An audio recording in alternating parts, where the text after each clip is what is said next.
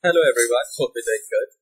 In this video, we will learn how to download and install Microsoft Teams and I will tell you the easiest way to use it. So this will be a very quick tutorial, yet very easy to follow.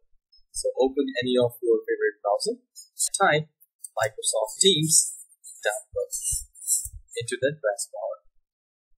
Once you have typed it, hit enter and the first result will come Microsoft.com.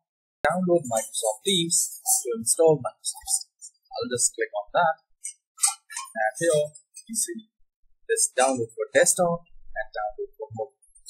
So I'll click on download desktop and a very small file. And here it's asked download Microsoft Teams for home and small business or Teams for workers. So from here you can choose whatever you want.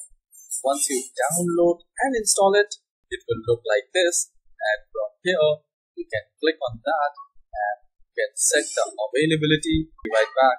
So you can choose whatever you want, the status, and you can set the status message. So if you want to create meetings, there are two tabs right here and chat here. So what I would recommend to create a link invite to Teams and here a link will be created you can copy that can send it to your team member or your friends they will also download the Microsoft Teams.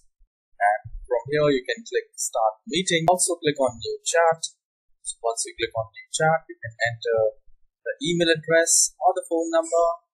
Here the email address will work. It will be good if you invite your colleague or team members to the Microsoft Teams so that we can together do the meetings, chat.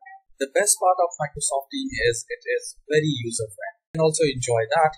Please let me know in the comment section if you are using Microsoft Teams or any other software. Uh, please hit the like and subscribe.